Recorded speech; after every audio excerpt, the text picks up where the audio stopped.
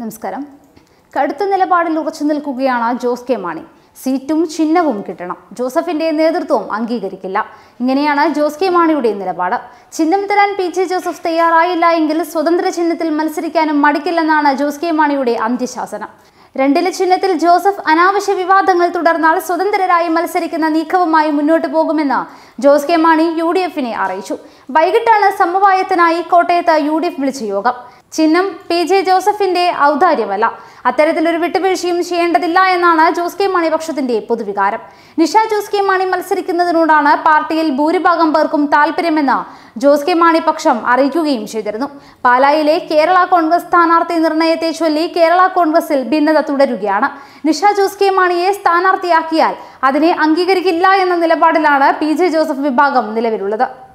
അതേസമയം നിഷ തന്നെയാണ് സ്ഥാനാർത്ഥി എന്ന വിധത്തിലാണ് മറുഭാഗം മുന്നോട്ട് പോകുന്നത്. ആരെങ്കിലും ഏകപക്ഷീയമായ തീരുമാനമെടുത്താൽ അംഗീകരിക്കില്ല. പാലായിൽ വിജയസാധ്യതയും സ്വീകാര്യതയുമാണ് പ്രധാനമെന്നുമായിരുന്നു നിഷ നിഷ ജോസിനെ സ്ഥാനാർത്ഥിയാക്കുമോ എന്ന ചോദ്യത്തിന് പി ജെ ജോസഫ് നൽകിയ മറുപടി. പാലായിൽ യു ഡി എഫ് സ്ഥാനാർത്ഥി പ്രഖ്യാപനം ഇന്നുണ്ടാകില്ല എന്നും ജോസഫ് പറഞ്ഞു. അതേസമയം പി ജെ ജോസഫിനെ മറുപടിയുമായി ജോസ് കെ മാണിയും രംഗത്ത് വന്നിരുന്നു. സ്ഥാനാർത്ഥി ഇന്ന് തന്നെ ഉണ്ടാകുമെന്ന ഉറച്ച നിലപാടിലാണ് ജോസ് കെ മാണി ഉള്ളത്. സ്ഥാനാർത്ഥി പ്രഖ്യാപനം ഇന്ന് തന്നെ ഉണ്ടാകും. ഏകപക്ഷീയ സ്ഥാനാർത്ഥി ഉണ്ടാകില്ല. കൂട്ടായി ചർച്ച ചെയ്ത് ഒരു പേരിലെത്തും. സ്ഥാനാർത്ഥി രണ്ടിലെ ചിഹ്നത്തിലെന്നും ജോസ് കെ മാണിയുടെ പ്രതികരണം വന്നിരുന്നു. ഇന്ന് സ്ഥാനാർത്ഥി പ്രഖ്യാപനം ഉണ്ടാകുമെന്നും ചിഹ്നത്തിന്റെ കാര്യത്തിലടക്കം ഇന്ന് ശുഭകരമായ വാർത്ത ഉണ്ടാകുമെന്നുമാണ് ഇന്നലെ ജോസ് കെ മാണി വ്യക്തമാക്കിയത്. സ്ഥാനാർത്ഥി നിർണയത്തിനായി ജോസ് പക്ഷം രൂപീകരിച്ച ഏഴംഗ സമിതിക്ക് മുൻപാകെ ഭൂരിഭാഗം പേരും നിഷ സ്ഥാനാർത്ഥിയാകണമെന്ന് അഭിപ്രായപ്പെട്ടിരുന്നു.